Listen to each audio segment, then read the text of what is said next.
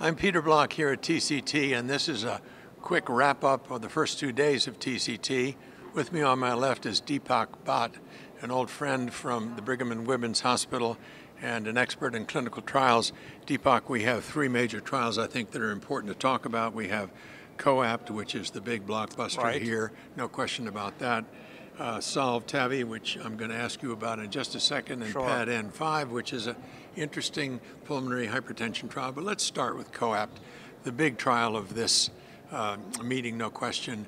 Mitral uh, clip against medical therapy in patients who have severe mitral regurgitation.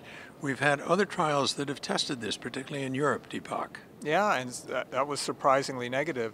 So uh, the expectation of many people coming into this meeting is, well, this is going to be negative too. And certainly if one looks at the surgical literature, surgery for functional MR doesn't look that good. In fact, those patients do pretty poorly with surgery. So the expectations might have been sort of low coming into the trial, and that made the results even more wow. Well, the interesting results here have to do with the endpoints because the endpoint was repeat hospitalization Right. for heart failure. And at the very beginning, uh, I said to myself, that's a pretty cool endpoint, and I think they're going to make that one.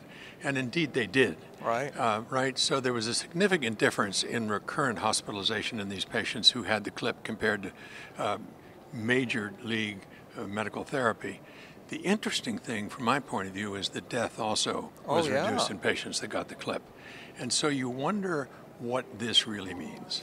Well, it's hard to know exactly, other than, you know, I'd rather be in the group that's still alive. So I think the trial is a home run, uh, really huge for MitraClip. Uh, and I think the mechanisms, you know, it might be like some of the drugs for heart failure that reduce hospitalization and also reduce death. I'm talking about like the SGLT2 inhibitors.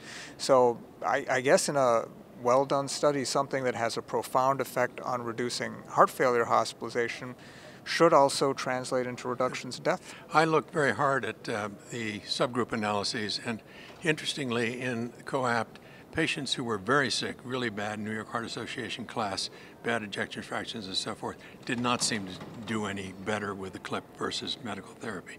But the patients who were less sick, uh, they seem to be the ones that benefit. So Yeah, the message may be start early. Yeah, you probably have to get to them before the LV is blown. I mean, at that point, probably nothing will do the trick. But yeah, I, I thought the results were really strong. Yeah, I did too, and positive trial. Uh, one issue is going to be raised is who should do the mitral clip because it's not an easy procedure. No, it can be quite time consuming, especially if one is not uh, really high volume. Okay, let's move on. Solve TAVI. Yeah, I thought that was a really interesting trial too. Something that we need well done head to head trials comparing the self expanding TAVR valve to the balloon expandable one.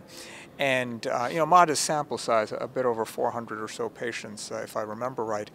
And uh, asking an important question, you know, which valve is better or um, is, is one worse? Are they non inferior? And overall, for the primary endpoint, looking at different ischemic endpoints, looking at uh, regurgitation, pacemaker implantation, virtually identical rates. So overall, one could say primary endpoint, they perform pretty well and pretty similarly. I agree with that entirely. The stroke issue, though, is a little bit of a burr under the saddle, right? It is. So the self-expanding valve had a significantly lower rate of stroke than the balloon expandable, which you know, was like 4% versus 0.5%. So it, not only is it a difference, it seems, relatively speaking, like a, a larger difference than what I feel is the case in clinical practice. But you know, that's why we do trials. Maybe it's real. I, I think it will need to be evaluated again in a larger trial. It should be evaluated again in a larger trial.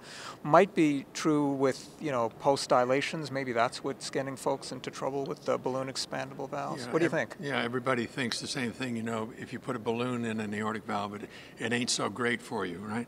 But Yeah. on the other hand, I think we just don't know. That may be a play of chance. I think another trial is not going to be done. I'd be surprised, but maybe there'll be registries which will tell us more about this stroke Yeah, well, issue. you know, I, I think maybe another investigator-initiated trial will be done. I think it's unlikely that either a commercial um, uh, vendor for the valves would do a trial because you could lose. No one's going to take that chance.